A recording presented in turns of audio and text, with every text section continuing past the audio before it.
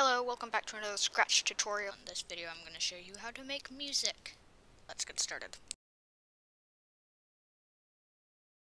So what you're going to want to do first is just go ahead and add the music extension, obviously.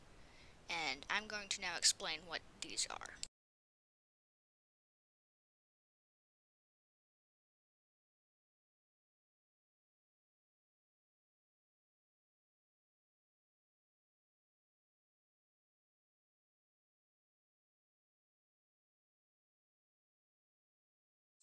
So the play drum is what it sounds like. It plays specific drums for X amount of beats. So it goes.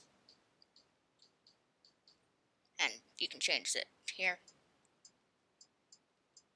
So those are the drums. The rest is it rests for X amount of beats. The note is it plays the note of the instrument that you want. An instrument, there's lots, you can choose that, which sounds pretty cool actually. And yeah, there's lots. I'm going to use piano just for this. And then there is the tempo, change tempo, and then a tempo variable here. So, to make music, this is what you do. You need to go and do a when green flag clicked. And then go ahead and set the instrument to what you want. And then play note and so this is middle C. And then it goes and you can change those there. So middle C. So like I'm gonna do twinkle twinkle, so it's CC. And you can modify the amount of beats to get it more precise. And yeah, you can really just have fun, and I'm gonna now have a time lapse of me building some sort of song. I don't know what I'm gonna do yet, so enjoy!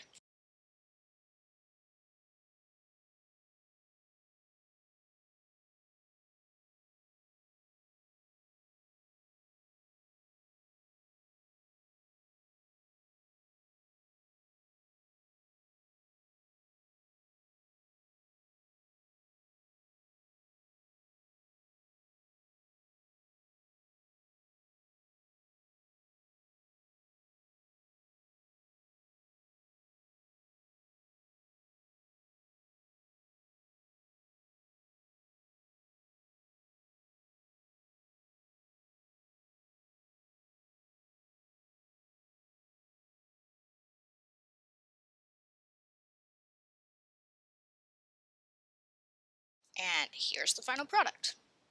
Hello, this is me while editing this video. I just now realized that this audio didn't record, so I'm sorry about that, but it did work and it sounded good for Twinkle Twinkle.